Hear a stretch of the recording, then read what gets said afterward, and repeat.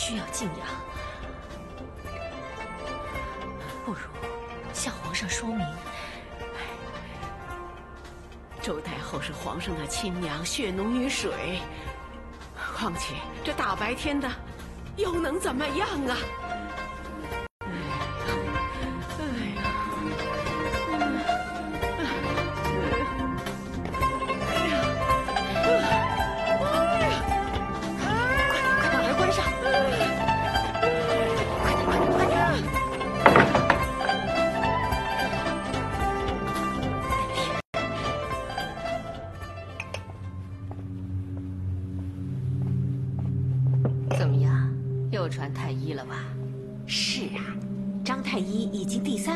被急召进宫了。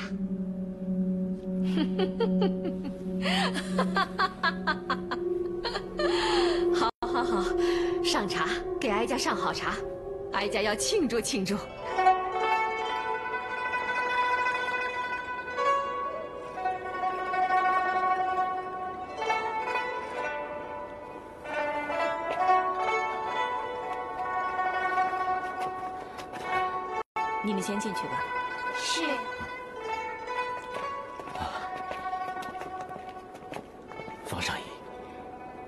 有事。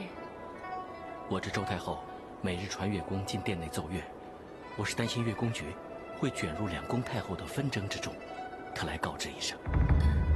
此话怎讲？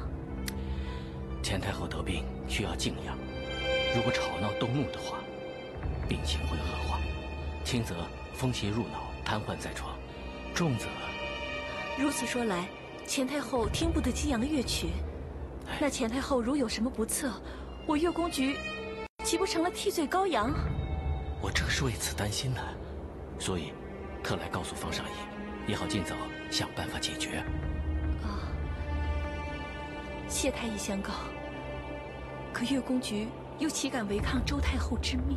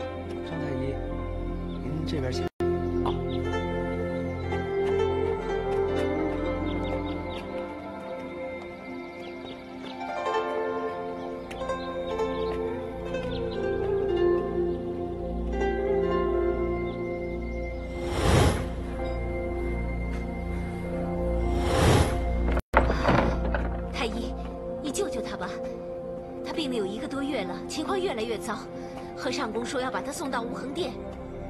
我知道太医是不该替宫女治病的，但是我真的希望他能够活下来，所以偷偷的把你请来。太医，你救救他吧。我尽力而为。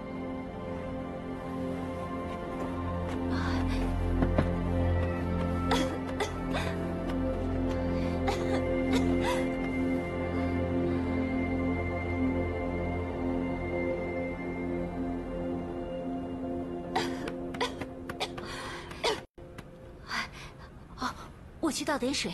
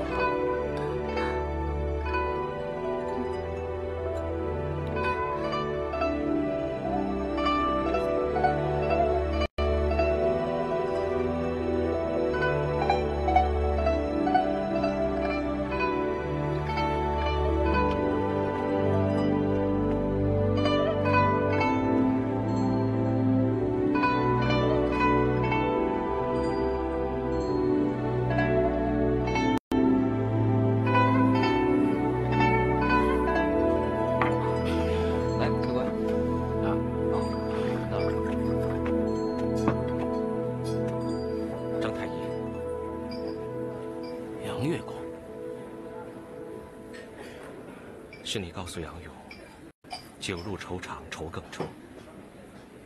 不知张太医遇到什么难处，如不嫌弃，可跟杨勇说说，也好替太医分担一二。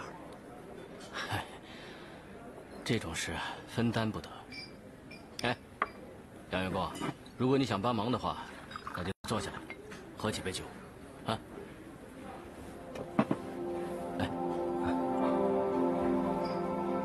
恭敬不如从命，张太医，这杯我敬你，希望你的忧愁之事可早日化解。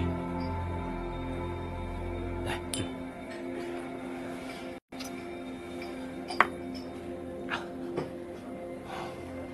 方少爷，对不起，我能为你做的，也只能是通风报信了。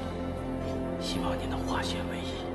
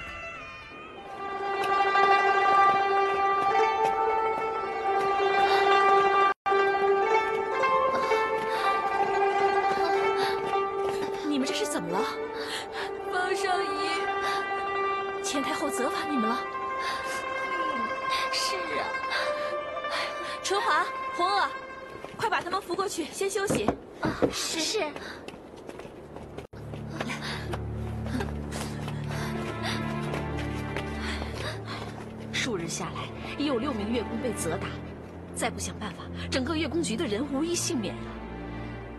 也许钱太后就是想这样，到时候周太后再想听曲，就无人可以进宫奏乐了。那怎么办？我们总不能看着乐工局在两宫太后相斗下变成牺牲品吧？我去找李尚宫商量商量。两宫太后以奏乐互相争斗一事，我略有耳闻。没想到越演越烈。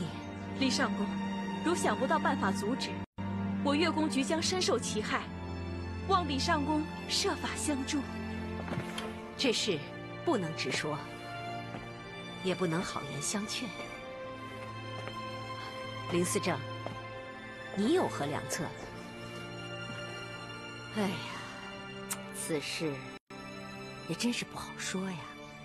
李尚宫向来足智多谋，都没有想到办法应付，下属愚昧，就更没有好的办法了。每天有好几个月宫受钱太后责打，再如此下去，月宫局实在是难以招架呀。这样，那就待我先面见两宫太后，听听口风，再见机行事。谢李上宫。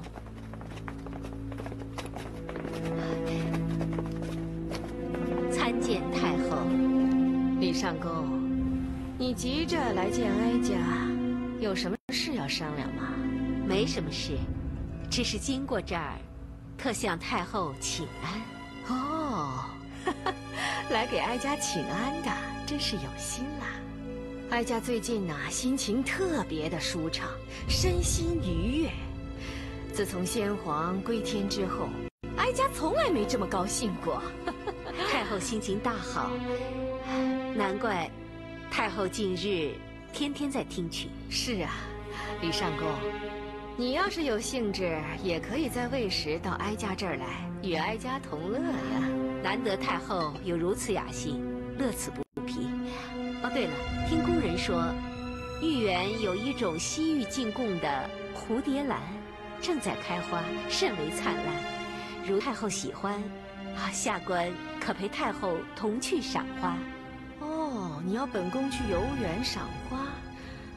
嗯，哀家觉得还是对听曲子比较感兴趣，特别是这种激昂的曲子，锣鼓喧天的，听起来让人振奋啊。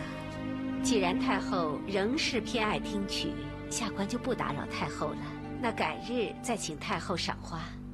好的，好的。啊，下官告退了。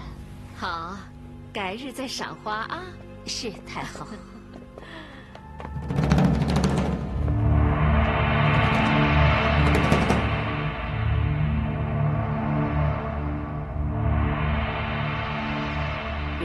特来问候哀家，你真是有心了。愿太后早日康复。嗯，太医说了，只要安心静养，不久即好。只是这也不易呀。太后想静养，何不到城外行宫小住？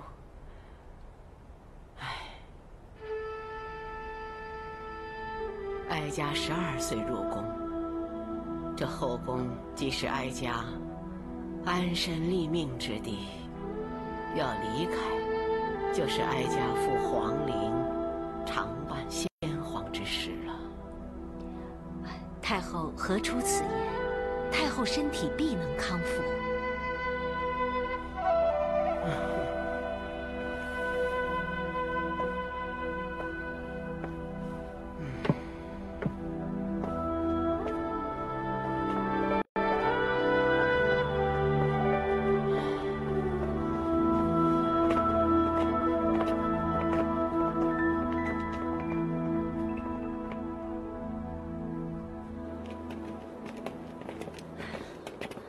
上仪、殷思月，怎么样？李尚宫可以帮忙吗？李尚宫已经亲自面见两宫太后，但二人并无半点退让之意。明日未时，周太后仍要听十二人合奏，钱太后亦召两名乐工进宫奏乐。唉，周太后一日不停，钱太后必定每日责打我乐工，真不知道怎么办才是。周太后是有心干扰钱太后静养，看来她是不会停手的。方尚仪、殷思月，春华倒有个办法，但不知道有没有用。现实情况，咱们也得试一试，说来听听。咱们只能以暴逆暴。这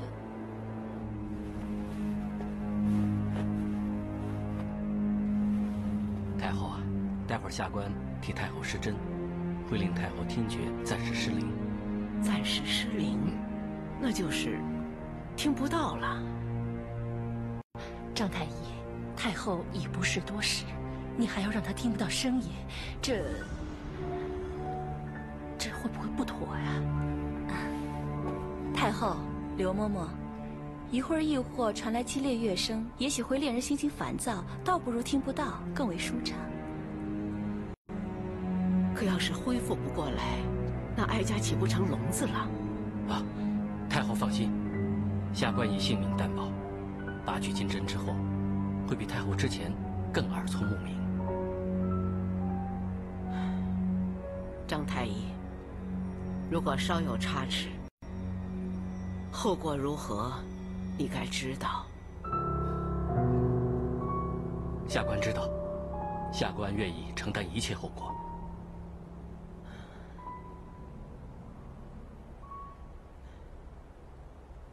下针吧。好，是。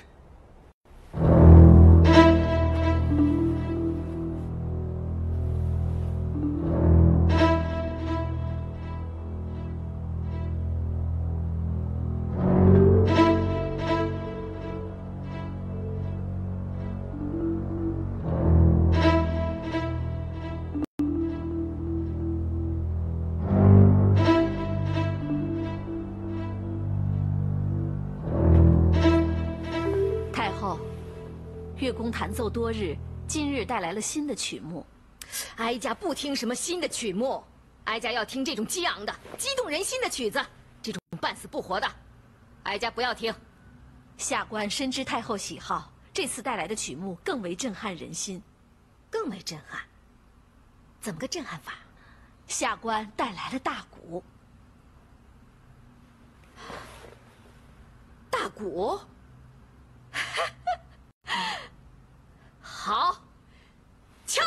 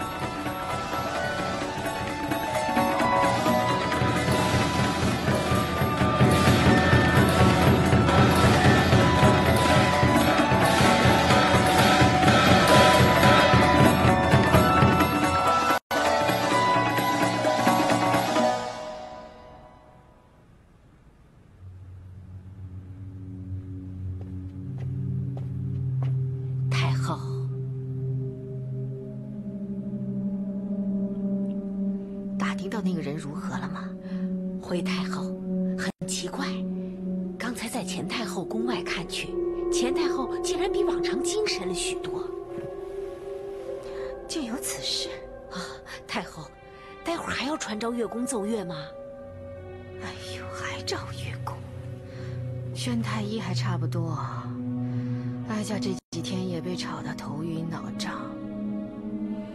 再这样下去，他没事，哀家倒有事了。是太后，奇怪了，他怎么会反倒精神了呢？春华，你做得好。春华不敢，春华只是不想姐妹受苦，才会大胆献计。春华，你的为人和才智，我和方尚仪、殷思月是知道的，我们已经商量过了，决定提升你为掌乐。谢谢三位姑姑的赞赏，不过春华年资尚浅，怕没办法承担如此重任。你就别推辞了，在这批新进的乐工之中，你的表现最为突出，把你升为掌乐，理所当然。是啊，春华，你就答应吧，以后好好协助我跟方尚仪合力管好月宫局。嗯，谢谢李尚宫、方尚仪、殷思月，希望春华不会辜负三位的寄望。春华，你答应就好。恭喜啊，方尚仪！恭喜你得以贤才，以后有少掌乐这个得力助手相助。林思正，谢谢。你也听到了，我听到了，我刚进来就听到了这个好消息。春华，啊，不对，我该改口叫少掌乐才是。你应该胜任有余的。谢林思正夸奖，我这哪是夸奖啊，我这是实话实说。啊，一边要给哀家奏出激昂的曲子，一边呢又要帮着叫张太医给钱太后封住耳门。这么缺德的招，谁想出来的呀？回太后，最近邵春华。被李尚宫和方尚仪升为掌乐，不知道是不是和此事有关？这个皎洁的丫头，哀家记住她。林思正，你对哀家的忠诚，哀家会记住的。为主子办事是奴婢。现在的问题是，这宫中的主子太多了，有些人呐都不知道该伺候谁了。李尚宫是这样的人。方尚仪也是这样的人，林思正啊，你呢，好好的做事情，哀家定会给你更好的机会。谢太后赏识，嗯，退下吧。是，太后。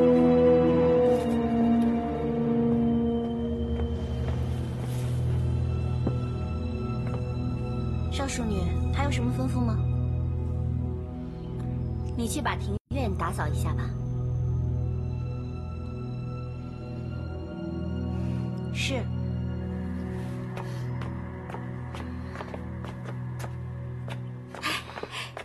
他好像比以前勤快多了。就是，多亏你上次教训了他一顿。我跟你说啊，有一个不称心的奴婢在跟前，比什么都痛苦。说的对。嗯，有件事情我不知道当说不当说。说呀。我现在啊，没有什么承受不了的。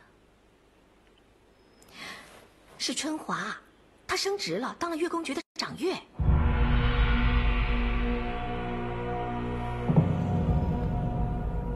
真奇怪，两个淡泊名利的人，一个当了陈妃，一个当。早说过他们是说一套做一套的人，这下你信了吧？幸好有你及时提醒我，不然我还蒙在鼓里。还以为他们两个是真心对我的呢，现在知道也不迟啊！以后啊，你可要多加小心呐！啊！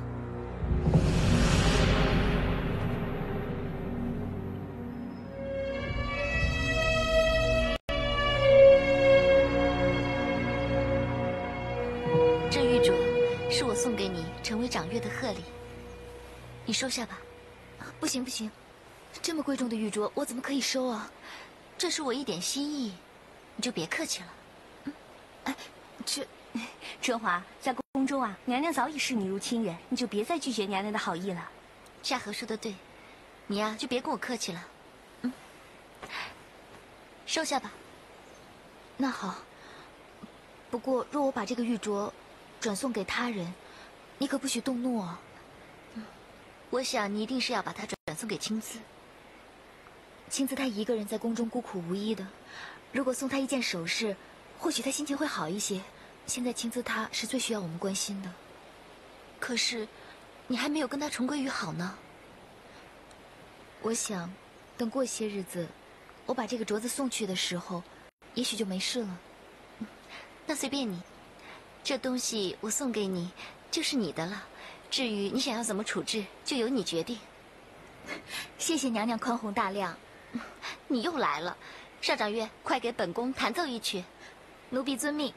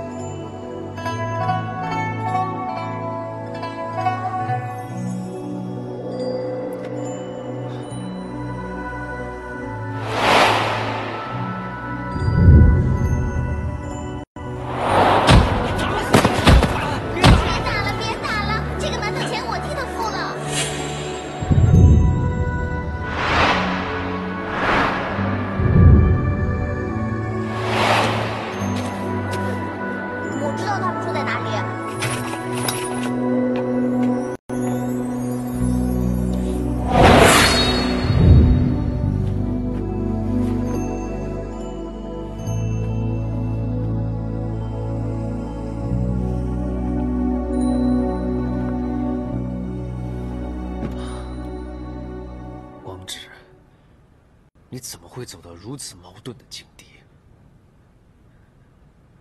为什么？因为你害死了人，因为你害死了人家的父母，现在他们的女儿出现在你的眼前，所以你就害怕，因为你做了亏心事，所以你就矛盾了，是不是？是不是？怕，怕，当年你就别做。不行。这么恨我自己，就算当年我不举报他父母，也一样会有别人举报他父母，他父母一样会死的，不关你的事的。你堂堂西厂的汪长公啊！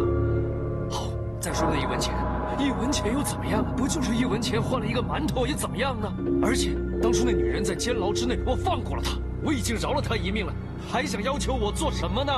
为什么要缠着我？再加上……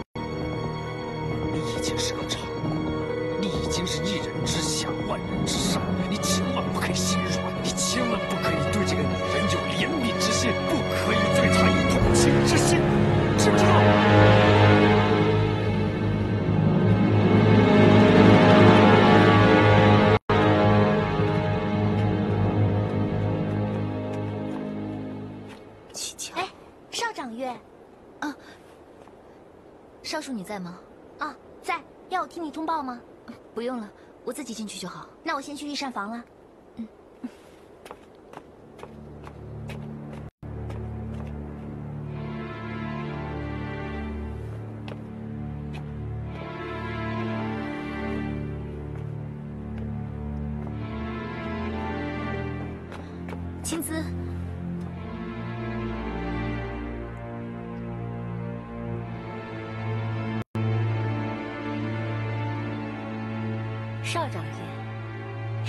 把你吹到我这无人问津的以霞殿来？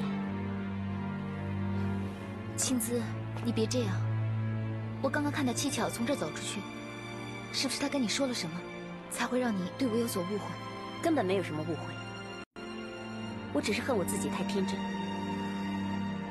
上次你托我变卖的东西，因为小安怕被宫里人看到，所以我收了起来，把我的月俸转送给父母了。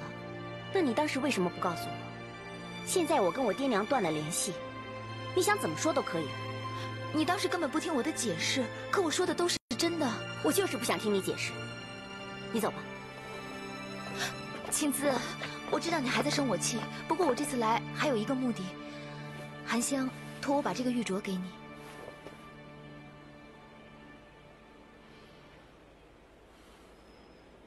你替我好好谢谢他。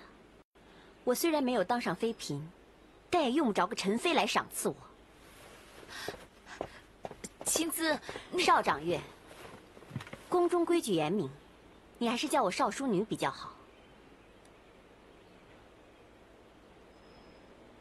走吧，以霞殿不欢迎你。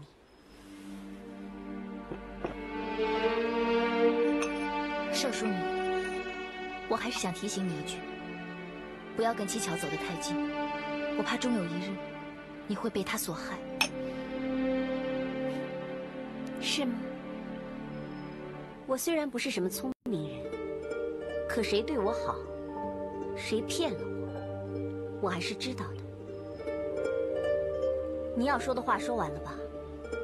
请你马上离开我这儿。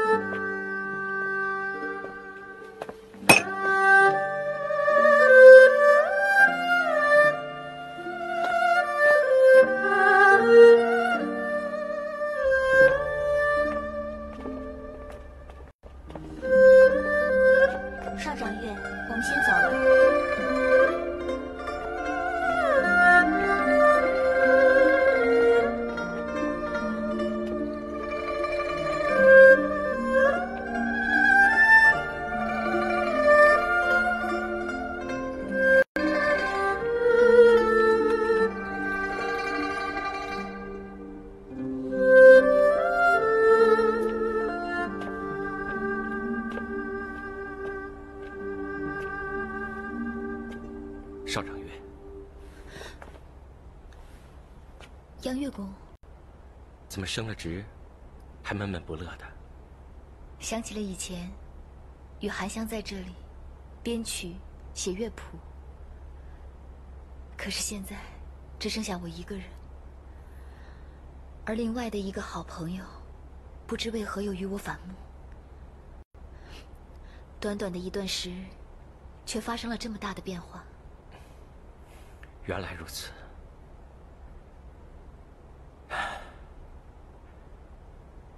人生就是这样，缘来缘去，缘起缘灭，很多事情都是找不到原因和答案的。杨月宫也好似有感而发。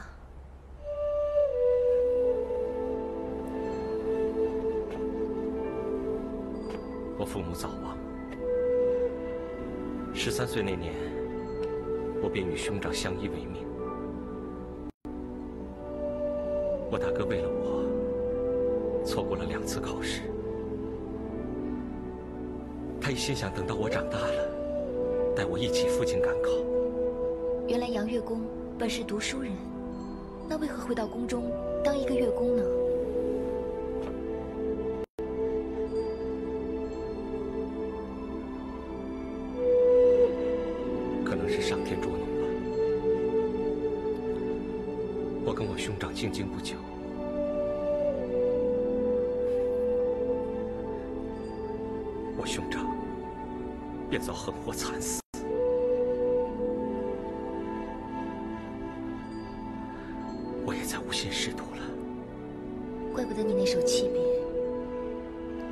此悲伤，一定是为你兄长而做。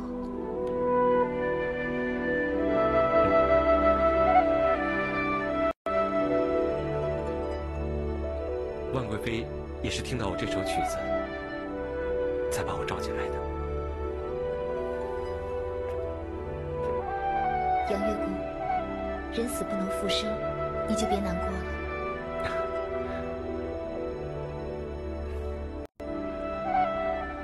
别人都说当局者迷，你看你会安慰我，却不懂得开解你自己。我跟我兄长的缘分，那只有那前二十年。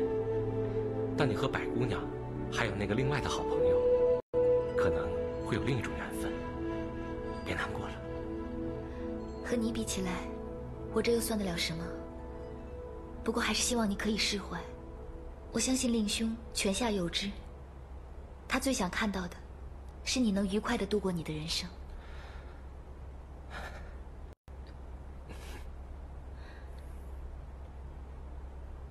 其实，我现在的生活虽然不是我当初想要的，可是没想到我在宫中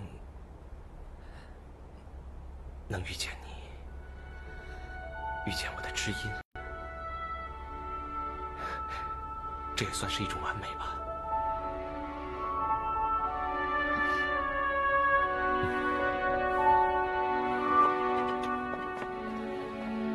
禀长公，马大人到。下官参见长公。马大人，不必多礼，请坐。谢长公。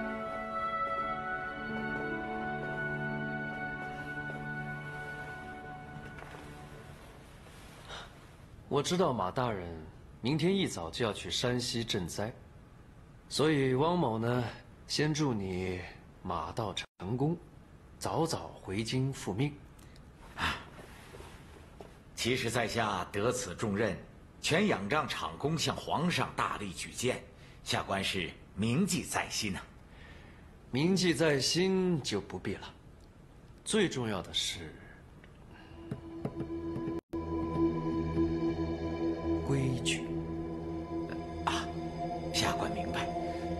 只是长公所言一半米粮数目过大了，下官怕无法向皇上交代呀。其实这次去山西，路途遥远，地势险要，在运送米粮的路途上，可能有一半的粮车跌进山谷之中，也是平常之事。就算你要保，也只能保住一半的物资。所以呢，就算皇上问起来，也不会太责难你的。啊，长公英明。长公料事如神，连下官在途中遇到他路崩地时都了然于心。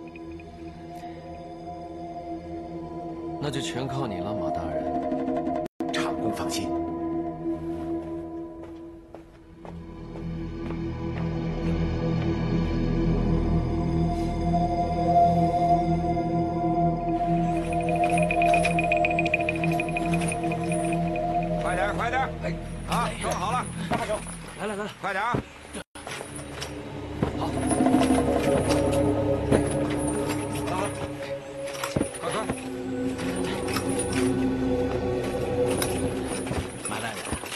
两千担米粮已经全部出入装车，请大人签收做事。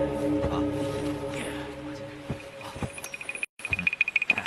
祝马大人一路平安，早日赶到山西赈济灾民啊！好，哎，都装好了没有啊？装好了，好了，好了，装好了，咱们就出发。是，撤。